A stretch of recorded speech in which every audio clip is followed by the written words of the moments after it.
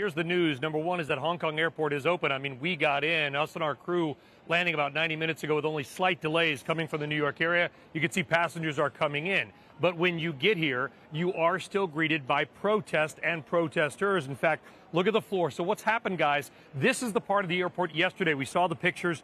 Thousands of protesters. You had to jostle your way through. There were some injuries. In fact, one reporter for the state media Global Times was sort of handcuffed by some protesters, apparently. At least that's what the government was saying. And that's why they issued the injunction. In other words, what they said is okay, you can protest, but this is going to be a safe protest zone.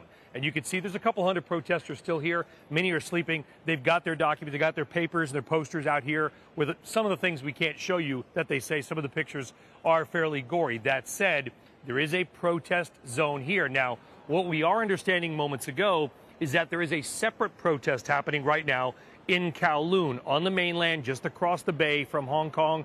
Reuters is reporting that tear gas there has been fired. Very peaceful here at the airport, although this is what greets you when you comes in. But here's the question, guys, is that the government has issued the injunction, said, okay, you can protest, but don't sort of disrupt operations of the eighth largest airport in the world and the fifth largest stock market in the world.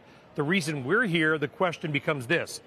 Where does this go from here? Hong Kong, really just 2 to 3% of GDP for China, but it punches above its weight, as you well know. It is the sort of the keyhole, if you will, between the East and the West as a financial center. And where do these protests go? What about the financial conditions going forward? You also got to remember, if you're the CEO of a major bank, you've got two things on your mind right now. Number one is Brexit, what happens to London? And now maybe you're thinking about Hong Kong. Do you have to move guys to centers of operations? We're going to be here for the next couple of days talking about the financial impact, showing you real world on the ground impact here right now at the Hong Kong airport. Brian, in the protests moving to Kowloon, as you mentioned, a, lot of big global banks are based there. Is that kind of the, the goal for these protesters is to, you know, be at the center of finance because they know that is how they get the world to watch? I think the goal right now is twofold, which is number one, I mean, they've got a number of demands.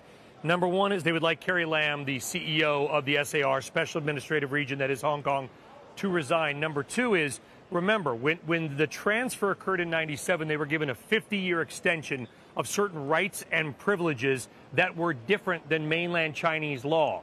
We still have 28 years to go. I think the main concern is making sure they get those rights and extensions, and they want a permanent kill of that extradition bill that China tried to push through. That was the main impetus for these protests, which are now entering their 11th week here.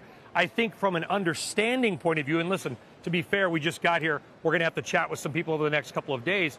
Hong Kong is one of the major financial centers of the world, fifth largest stock market, $340 billion in gross domestic product, just on the small island and parts of Kowloon that is Hong Kong.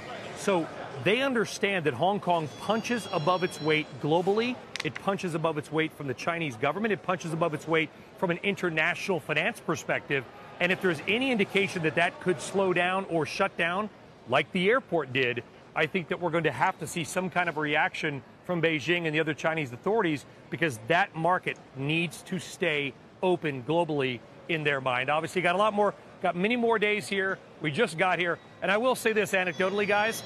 The airplane was the emptiest flight I've ever flown on internationally. I would say half the plane was empty. And the cabin steward told us that a lot of people had bailed on their tickets at the last minute. The plane extremely empty, Newark to Hong Kong direct. I would imagine that's happening a lot.